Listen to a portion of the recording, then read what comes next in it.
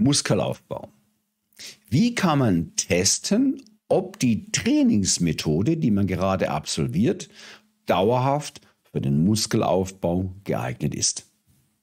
Spannende Frage. Und diese spannende Frage habe ich schon sehr oft gestellt bekommen und heute gibt es für euch die Antwort dafür.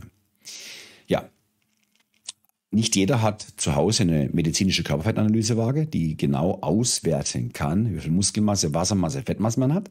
Und somit fällt es manchen sehr schwer zu beurteilen, ob das, was sie gerade machen in Form von Krafttraining, tatsächlich langfristig für den Muskelaufbau geeignet ist. Und jetzt gibt es natürlich einen Parameter, den kann man heranziehen, um zu prüfen, ob der Muskelaufbau dauerhaft funktioniert. So, spannende Sache, ne? Und äh, 30 Prozent meiner Coaches sind im Muskelaufbau. Und diese 30 Prozent der Coaches, die haben ja nicht immer die direkte Verbindung zu mir. Das heißt, die haben schon eine direkte Verbindung in Form von äh, Feedback-Tag und unter der Woche haben wir Kontakt per Sprachnachrichten. Nur, wie kann ich auf Distanz als Performance Coach überprüfen, ob bei denen der Muskelaufbau funktioniert. Jo, und das klären wir heute. Das klären wir heute und da haue ich jetzt direkt noch einmal einen, äh, einen, einen Begriff raus und dieser Begriff heißt gesamtgehobene Last. Ja, Freunde, mit der gesamtgehobenen Last ist es uns möglich zu überprüfen, ob der wichtigste Parameter für einen Muskelaufbau funktioniert. Denn der wichtigste Parameter für einen Muskelaufbau ist, dass der Reiz, der an der schnell zuckenden weißen Muskelfaser entsteht, dass der so hoch ist und immer wieder erhöht wird, sodass der Körper auch einen Sinn sieht, die wertvollsten Hormone, die wir haben, und zwar Wachstumshormone zu bilden als Schutzmechanismus. Sind die Reize, die an der Muskelfaser entstehen, ständig gleich, dann fragt sich natürlich unser Organismus, warum verdammt nochmal sollte ich eine dickere Muskelfaser produzieren, wenn die Reize ständig gleich sind? Ich brauche doch gar keine dickere Muskelfaser, denn die Beanspruchung ist doch immer die gleiche. Und da kommt jetzt der Begriff gesamtgehobene Last ins Spiel. Das ist ein Parameter, wo man überprüfen kann, ob Reize, die am Muskel abgeliefert werden, ob die auch ständig gesteigert werden können. Und der maximale Reiz für Muskelaufbau ist immer der Belastungsreiz. Das heißt, dass man es schafft, die Belastungsgewichte immer wieder zu erhöhen. Das ist das Maximum, beziehungsweise das ist Nummer eins, wenn es um den Muskelaufbau geht. Und jetzt haben wir das Thema gesamtgehoben Last. Und was versteht man unter gesamtgehoben Last? Unter gesamtgehoben Last versteht man Folgendes.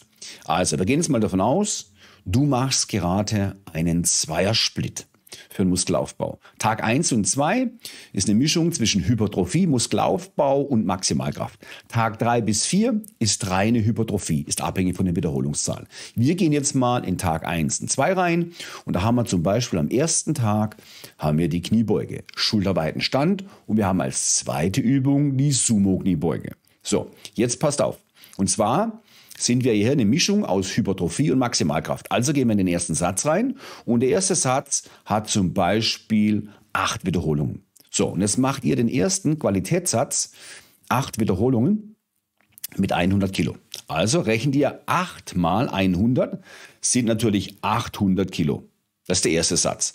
Der zweite Satz ist dann, sind dann die sechs Wiederholungen. Die sechs Wiederholungen mit 120 Kilo. Also haben wir dabei 720 Kilo erreicht. Wenn wir sechsmal die 120 Kilo heben, sind es insgesamt 720 Kilo. So, und jetzt kommt noch ein Satz, der findet rein in der Hypertrophie statt. Das sind die vier Wiederholungen. Und die vier Wiederholungen schaffst du mit 140 Kilo. Also sind das 4 mal 100, sind 400, 4 mal 4 sind 160, dann sind es 560 Kilo. Jetzt haben wir 800 plus 700 plus 560 Kilo. Das ergibt dann unterm Strich sind 15, sind 2060 Kilo. So, jetzt haben wir bei der ersten Übung 2060 Kilo gebeugt. Das ist die gesamtgehobene Last für die Kniebeuge im Schulterweitenstand. Jetzt kommt die zweite Übung. Die zweite Übung ist die Sumo-Kniebeuge. Und bei der Sumo-Kniebeuge, da ihr den zweiten Satz macht, ist die Gesamtbelastung nicht ganz so hoch. Dies bedeutet, ihr habt den ersten Satz mit acht Wiederholungen, macht ihr mit 80 Kilo. Somit 8 mal 8 sind 640 Kilo. Dann haben wir den zweiten Satz mit 6 Wiederholungen. Machen wir mit ähm, 100 Kilo. 6 mal 100 sind 600 Kilo. Und dann haben wir den letzten Satz, der rein in der Maximalkraft stattfindet. Und da beugt ihr die 130 Kilo. Somit 4 mal 130 sind 400, 4 mal 3 520. So, jetzt haben wir bei der zweiten Variante, bei der Sumo-Kniebeuge, haben wir dann insgesamt äh, 6, 12 und 5 sind 1760 Kilo. So, jetzt habt ihr einmal bei der Kniebeuge 2060 Kilo in der gesamtgehobenen Last gebeugt dann habt ihr bei der Sumo-Kniebeuge 1760 Kilo Gesamtlast gebeugt und so rechnet ihr das Ganze bei allen Übungen aus. Also beim Bankdrücken, beim Kreuzheben, beim vorgebeugten Rudern, beim Military Press, bei allen Übungen, die ihr habt pro Trainingstag, rechnet ihr aus, wie viel Last habt ihr im konzentrischen Bereich gehoben. So, und dann ergibt es zum Beispiel in der Woche 1, am Tag 1, ergibt es 9760 Kilo. So, jetzt habt ihr ja nächste Woche zum Beispiel auch wieder montags den Trainingstag 1. Und jetzt schreibt ihr euch da auch die Lasten auf und dann stellt ihr fest, okay, da waren es dann 9920 Kilo. Wieder eine Woche später, am gleichen Tag, montags, schreibt das wieder auf da sind es auf einmal 10.140 Kilo. Und so seht ihr anhand der gesamt gehobenen Last, ob ihr ständig neue Reize produziert.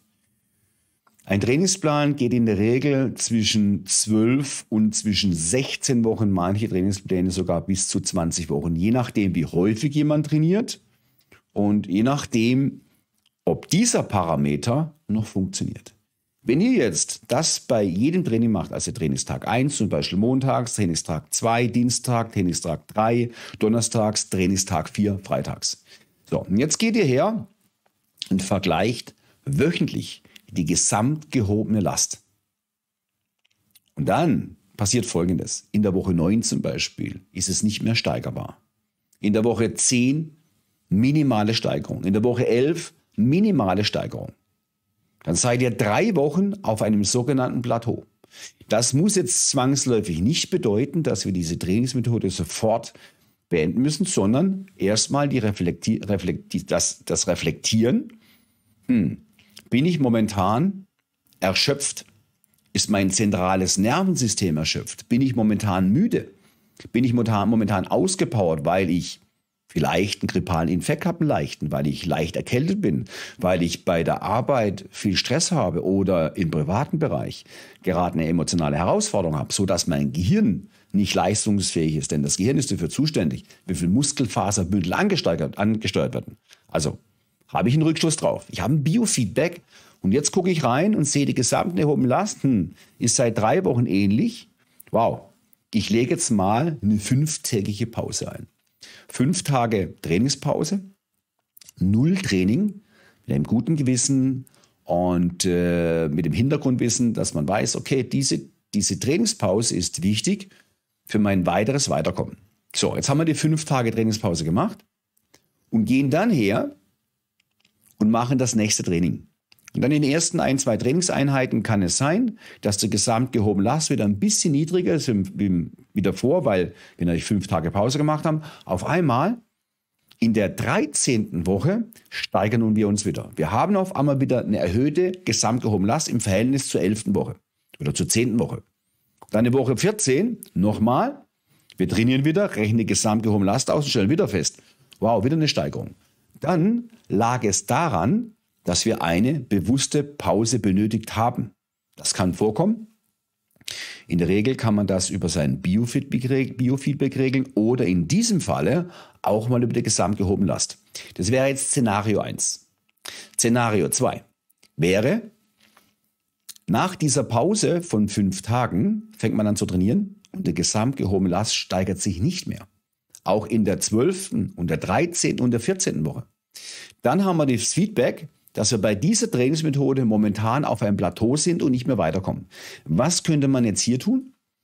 Hier könnte man sagen, okay, jetzt machen wir ein sogenanntes Maximalkrafttraining. Wir gehen raus aus der Hypertrophie oder eine Mischung aus Maximalkraft und Hypertrophie und gehen mal rein in die reine Maximalkraft, ins reine Maximalkrafttraining und absolvieren vier bis sechs Wochen ein reines Maximalkrafttraining, rechnen hier natürlich auch wieder gesamtgehobene Last, stellen fest, wow, im Maximalkrafttrainingsbereich schaffe ich es wieder, meine gesamtgehobene Last zu steigern. Nach sechs Wochen gehen wir raus aus diesem Training, aus der Maximalkraft und gehen wieder rein in die Hypertrophie machen wir eine Trainingsmethode, vielleicht auch die gleiche, was wir vor der Maximalkraft gemacht haben, schreiben uns wieder die maximal gehobene Last auf und stellen fest, wow, es geht wieder vorwärts. Bedingt durch das Maximalkrafttraining, was wir vorgeschaltet haben.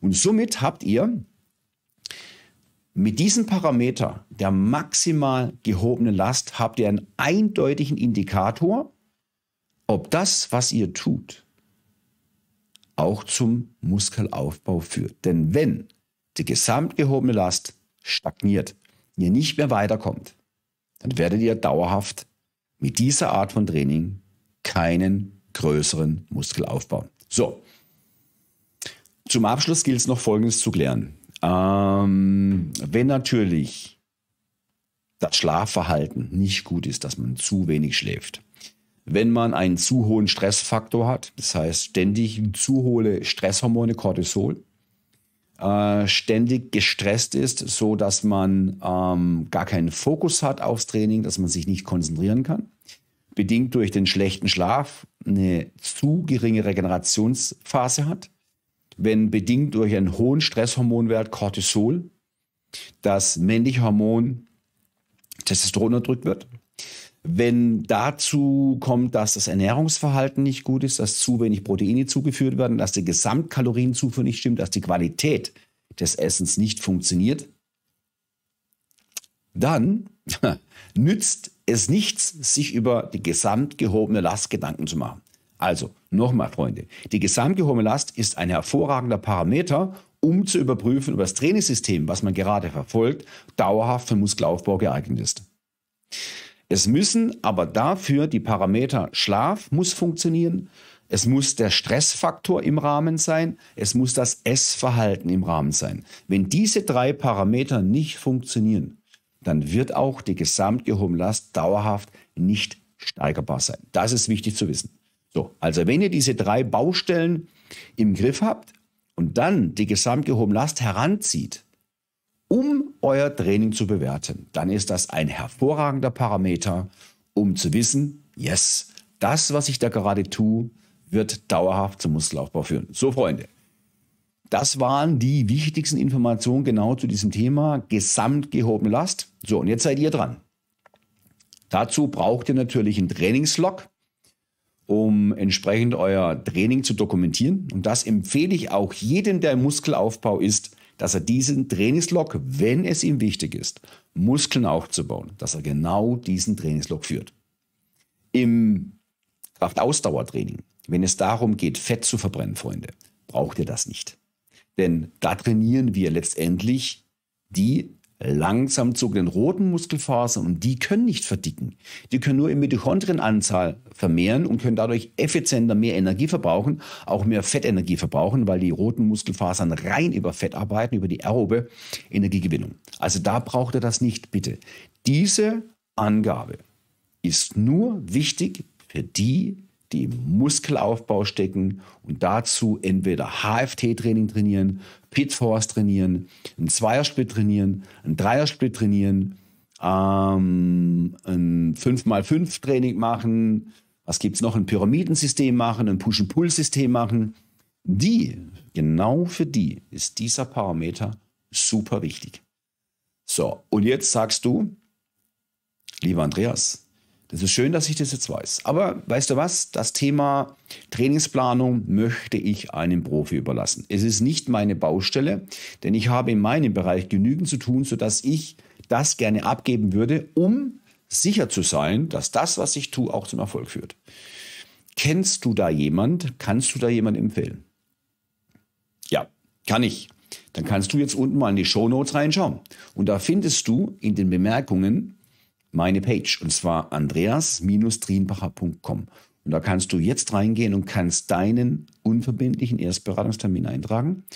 Und dann hast du in Kürze das Vergnügen, und ich habe das Vergnügen, dich kennenzulernen, mit dir ein Gespräch zu führen, ein Strategiegespräch. Und nach einer Stunde Gespräch kannst du sagen, das ist genial, das würde ich jetzt gerne nutzen. Ich würde gerne deine Erfahrung von über 33 Jahre Personal Trainer, deine Erfahrung von über 25.000 erfolgreich gecoachten äh, Coaches würde ich gerne in Anspruch nehmen. Denn ich mag einfach nicht drüber nachdenken, wie es funktioniert. Ich möchte einfach nur gesagt bekommen, wie funktioniert es, was muss ich tun, wie muss ich trainieren, wann muss ich trainieren, wie oft muss ich trainieren, äh, welche Übung sollte ich machen, wie soll ich mich ernähren, wie schaffe ich es, entstresster zu werden, wie schaffe ich es, besser, tiefer, länger zu schlafen. Dann trag dich jetzt für deinen Termin ein.